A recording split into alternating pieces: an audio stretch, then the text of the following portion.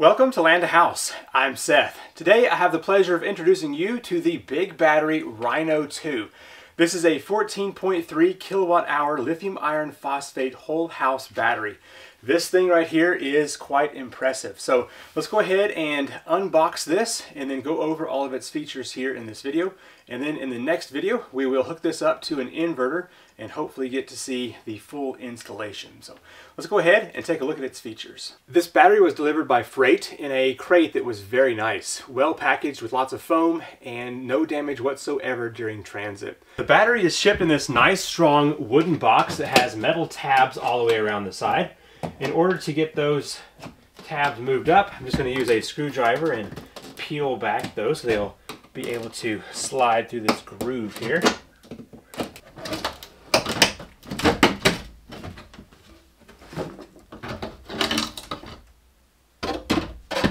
A layer of protective foam is over the top of the battery.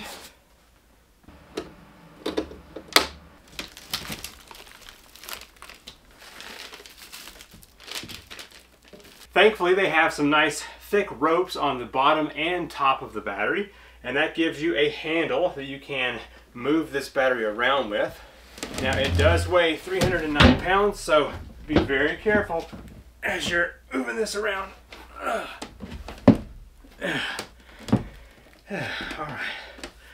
My goal is to uh, teeter this over to the edge of the box, get it off onto the floor, and we should be good to go at that point.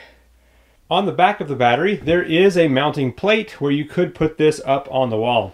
However, that would require quite a significant amount of machinery in order to lift this up to do that. So my battery here is just going to be placed on the ground.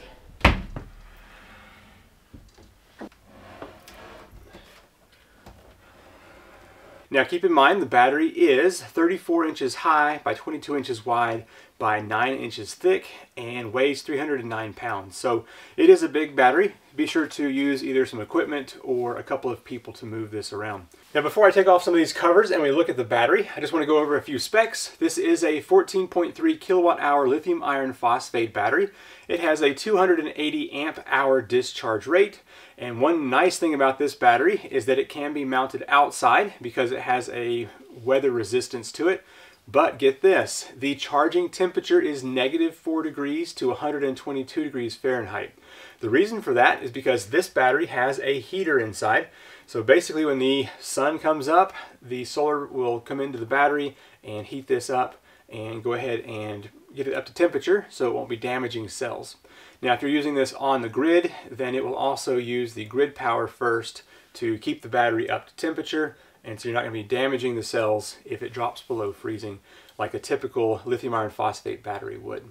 The battery is UL certified, so it passes inspection. It has a 10-year warranty and has an 8,000 cycles DOD. So you're going to get many, many years out of this battery if used properly. It has a continuous output of 10,000 watts, and like a typical lithium iron phosphate battery, the charging voltage is 55.6 to 57 volts. So this battery is quite a nice battery. Let's go ahead and dive into pulling these covers off here, looking at all of the connection points and breakers, and also the LCD screen on this battery. First up, the battery had two different ropes on the back of it, so you could use these as handles, and that was a lifesaver. Without those, this battery would be uh, much more difficult to move around. So these are removable, as you can see here. Once you have the battery in place, just pull those off, and you can uh, use them for some other project. Included in the package you have the battery itself, which we'll go over here in detail in just a moment, but it also has two sets of 2-aught cables. Because this battery has an output of 200 amps continuous, they have doubled up the cables to uh, relieve the amperage off of one cable into two, which is very smart. Uh, so they have the push fitting connection over here with a button which will allow you to remove these. Also, you can swivel these around a little bit whenever they are in place. On the other end, they have already removed some of the sheathing, as you can see here, and that will make this easy to pull off and get right into your inverter connection. So, two sets, so you got two of your uh, negative and two of your positive cables. The next thing included is a little bit of mounting hardware and a communication cable. These cables are Ethernet style, and on one end there is a plastic piece that has a rubber gasket inside, and that will help dust and water from getting to that communication port. The other side does not have that, and it's going to go into the inverter communication port. So nice that that is included. It is already wired up to uh, communicate with an inverter. The height of the battery is 34 inches, so just under 3 feet. The depth out from the wall is 9 inches, so it doesn't take up too much space in that direction. And then it is 22, almost 23 inches in width here. And that uh, is definitely going to be great to fit here behind my door. All right, let's go ahead and take a look at the battery. So there are some plastic protective covers which will prevent anybody or anything from getting to the connections down in here. And it also gives a stylish look to this. Now, for here in my shop, there's nobody else walking around, so I don't necessarily have to put those on, but I probably will keep them on for the uh, aesthetics of this. So it is the same on both sides. And you can see up here, there is a ground screw, and that's where I'll be attaching this to earth ground. And over here you have a little port for the communication cable to go through. All right, let me get a screwdriver real quick, and I will remove these side covers. There are four screws that hold this in place.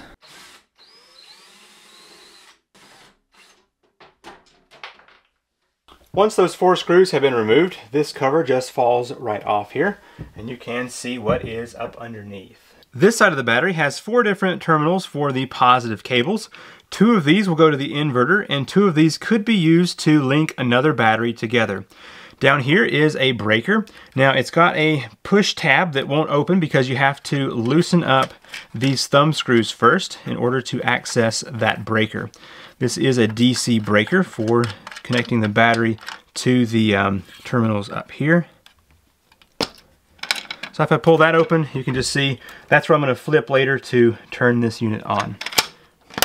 Now moving over here, there are three different screws. This one says battery communication, battery communication, and this one says RS485 and CAN. So the top one here is going to go up to the inverter to talk to that.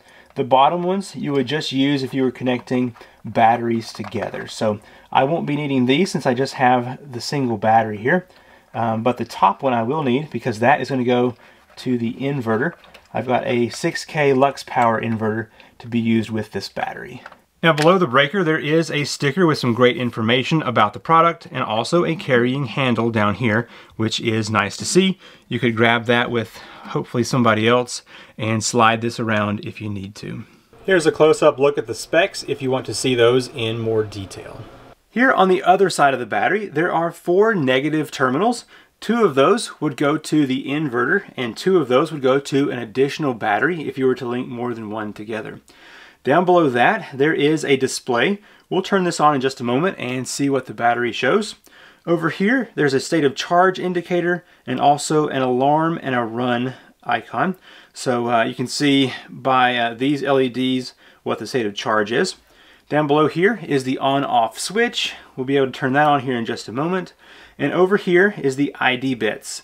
If you have multiple batteries linked up together, you have to change the ID of each one. And so we'll open that as well and take a look and see what uh, that's about. Now, up here in this corner, uh, there are two little white stoppers. I pulled one of them off and the nut that was holding this on fell down into the battery. So uh, it says PC on there. I'm not sure what that means, but unless you want this uh, falling down in the battery, I'd recommend you don't unscrew those unless you need them for whatever reason. I'm going to press the on button here and let's see what this indicates.